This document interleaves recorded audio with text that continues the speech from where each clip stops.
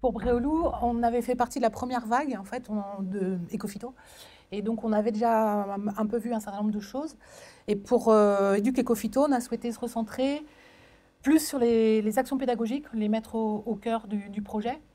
Euh, donc, on avait souhaité travailler sur deux axes les leviers de réduction de l'usage des, produits phyto, et puis aussi le processus de prise de décision. Comment on prend une décision? C'est-à-dire, je traite, je traite pas, j'interviens, j'interviens pas, comment quoi, en fait? Ce qu'on a essayé de synthétiser, en connaître, comprendre et décider. Donc, euh, on souhaite travailler donc sur la connaissance des, outils, des techniques, euh, des seuils de connaissance des maladies, etc. Donc, bien travailler ça avec les élèves. Et puis aussi travailler avec euh, notre territoire en particulier, mais Stéphane va en parler après, sur je prends comment ma décision, quoi, en fait. Est-ce que je peux avoir comme outil de la décision, comment je fais, etc. Parce que c'est souvent là que ça se joue on n'est pas toujours euh, super à l'aise, on peut connaître, mais on ne va pas le transformer en, geste professionnel à un moment donné.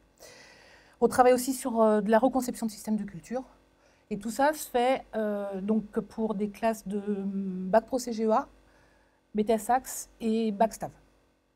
Bac Techno Stav, essentiellement. Et toutes les actions pour support la ferme. Et on essaye à l'heure actuelle de développer aussi notre lien avec le territoire. Voilà, donc la ferme support, c'est une ferme polyculture, polyélevage voilà, qui est assez représentative du territoire avec euh, des contraintes foncières assez fortes, que ce soit pour l'autonomie fourragère ou pour la gestion des effluents. Aussi une particularité en zone littorale, c'est d'avoir un parcellaire relativement morcelé, donc qui complique un petit peu des fois l'optimisation des systèmes de culture.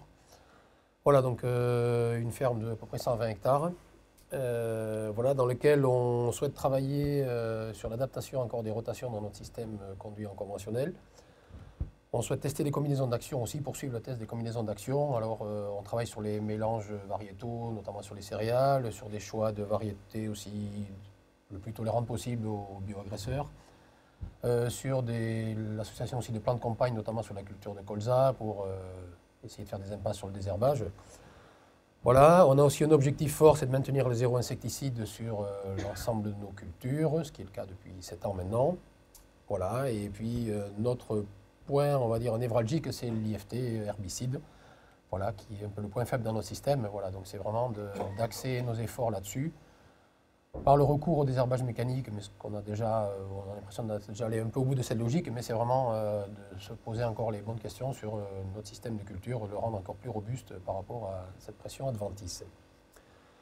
Voilà, pour aller un peu plus loin et servir aussi de support pédago, voilà, on a converti une partie de la ferme, donc 12 hectares en bio, euh, voilà, à compter de l'automne dernier.